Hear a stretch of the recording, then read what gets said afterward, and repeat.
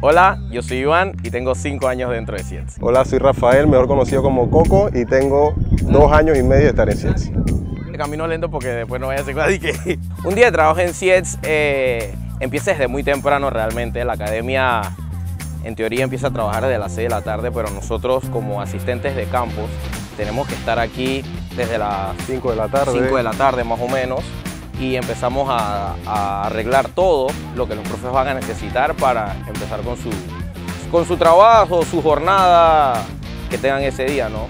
Exacto, sacando balones, sacando conos, eh, poniéndoles agua a los niños y demás cosas. Una vez empiezan los entrenos, nosotros por lo general tenemos que estar muy al pendiente de si algún niño necesita algo, algún profe necesita algo, ya sean lentejas, balones, eh, de estar pendiente de que los niños tengan su hidratación a tiempo, estar pendiente de que los balones dentro de la academia no se pierdan, brindarles lo que son sus petos y siempre estar con ellos, pues cerca de ellos, conocer también más allá de, la parte deportiva, creo que, que siempre le he dicho que una de las partes fundamentales de nosotros aquí es realmente llevarle una sonrisa a cada persona que está dentro de CIETS, de brindarle ese, ese cariño, ese amor que, que quizás a veces entre profes lo puedes sentir, pero no tanto como cuando eres asistente. Ah, y los días de partido, los días de partido son los más difíciles porque tenemos que estar dos horas antes o hasta tres horas antes del partido y salimos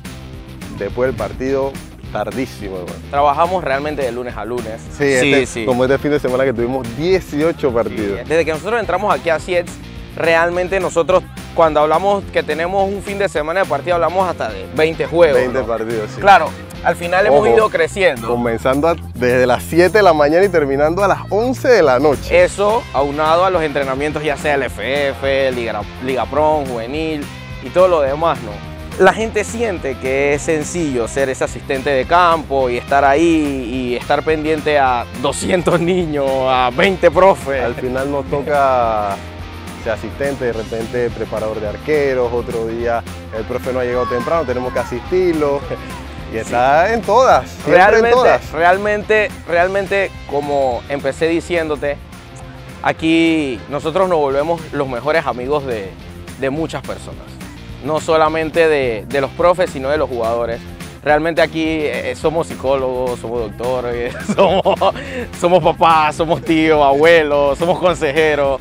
O sea, cumplimos un sinfín de roles que quizás la gente en el diario vivir tú me ves con un balón en la mano, me ves llevando un garrafón de agua y quizás la gente siente, ah, un trabajo más, pero creo que dentro de nuestro rol eh, hay algo más profundo, hay algo más allá que solo, que solo llevar un balón, solo mover un cono, mover una vara y tener una botella de agua, me explico. Es más allá, es comprender a cada persona, a cada jugador, a cada profe.